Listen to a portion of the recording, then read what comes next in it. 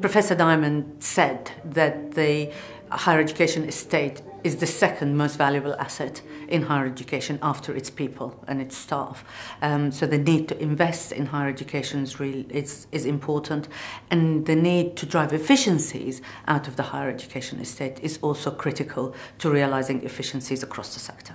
We had um, three key messages um, of today. First of all, that the uh, higher education estates professionals have been working extremely hard in realising efficiencies through the use of the estate. And that hasn't, uh, we've been able to demonstrate that. That has come through partnerships across institutions, across different um, constituent bodies and, and different professional services.